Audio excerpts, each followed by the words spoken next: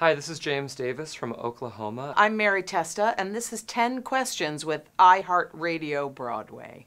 iHeartRadio Broadway, driven by Mercedes Benz. The best or nothing.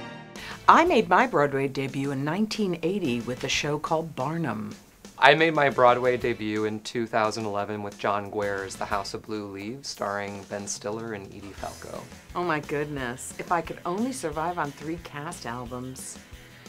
Um, I think Floyd Collins, Adam Guettel, anything by Michael John LaChiusa, and Candide. My favorite moment in Oklahoma is the Dream Ballet because we get to stand stationary and watch this beautiful dancer named Gabrielle Hamilton uh, work the stage. I don't have mentors. I don't have heroes because you're bound to be disappointed. My heroes are every single actor I work with. If I was stranded on a desert island and there were two characters from Oklahoma that would keep me alive, one, it would be Aunt Eller because she's super practical, and two, lead dancer from Oklahoma because she would keep spirituality and faith alive.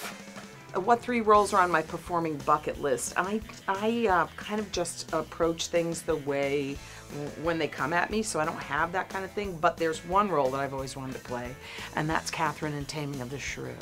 My favorite backstage visitor was Megan Mullally and Nick Offerman. They just loved the show and they were so generous with the amount of um, gratitude that they were giving us about seeing the show. Which performers did you look up to growing up? Marcel Marceau, who was a mime, very famous mime, um, and uh, Jonathan Pryce. My favorite fan moment in Oklahoma is um, just the fact that they, there's been a few instances where we get fan art, and I think it's amazing that these, they're generally young kids, are at home and the show's so meaningful to them that they're taking time and in creative ways making stuff for the performers and thanks.